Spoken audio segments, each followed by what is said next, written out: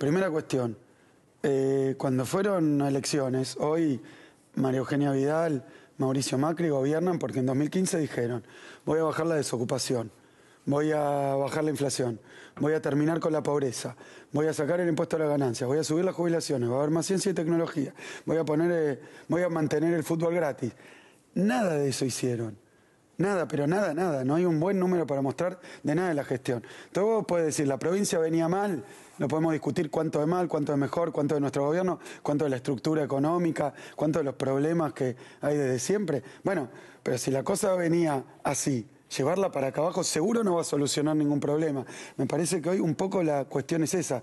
En tres años y medio no cumplieron nada de lo que dijeron, pidieron el voto para hacer un montón de cosas bárbaras, resultó mentira.